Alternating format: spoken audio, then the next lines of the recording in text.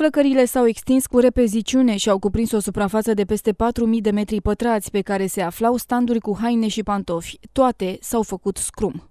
Într-o fracțiune de secundă a luat, am văzut flacăra ceruri. Mai departe nu știm. N-am de unde, că e distanță între noi. V-ați speriat, au fugit. Că ne-am speriat, ne-am panicat max.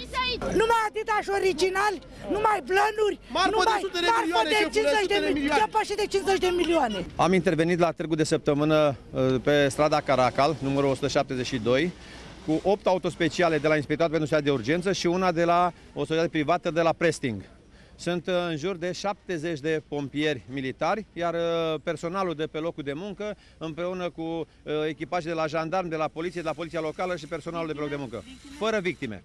Suprafața totală a uh, târgului 4950 de metri și a ars în totalitate, fără pericol de propagare la vecinătăți sau alte uh, standuri din târgul de săptămână. O posibilă cauză?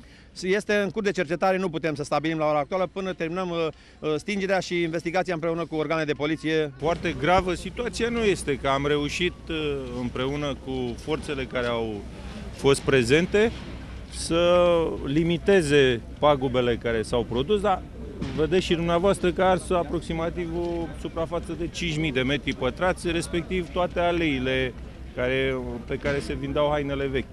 Ce este foarte important este că s-a intervenit bine în zona rarului și au salvat uh, rarul. Efectiv, uh, e- exista posibilitatea să se extindă la hala de la rar. Aveți cumva idee de ce nu merg hidranții? Ia uitați cum... Nu știu, din ce la primele informații pe care le am, am înțeles că au fost uh, înainte în verificări, s-au dat amenzi, s-a stabilit ce trebuie să se facă.